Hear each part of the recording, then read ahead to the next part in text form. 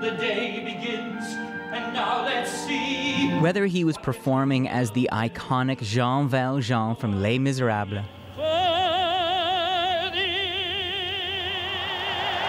or a rousing version of O Canada sung the last time the Blue Jays were contenders, no one sounded like Michael Burgess.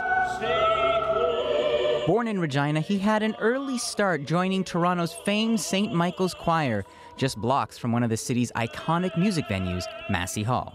Every day I came past this building, usually late for class, carrying my books and a dream.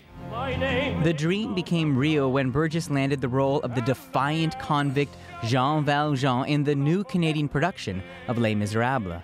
But he underestimated the show's popularity. I never knew it was going to last that long. 1989. Today, David Moussi is the managing director of Mirvish Productions. As a member of the original Les Mis cast, he was there as the great tenor sang to thousands. And he sang to everyone, everyone in every seat. Sort of like he did with the national anthems later, that when he sang O Canada, there was a certain sense of pride he had when he sang that song.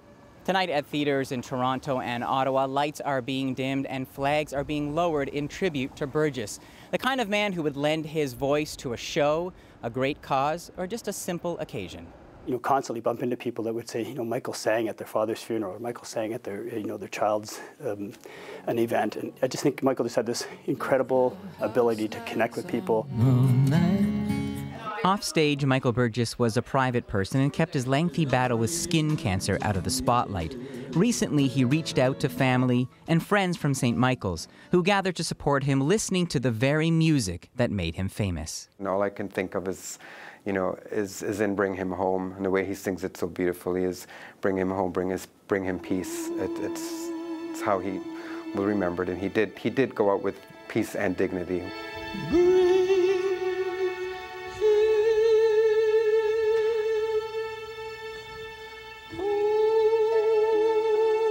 Glasner, CBC News, Toronto.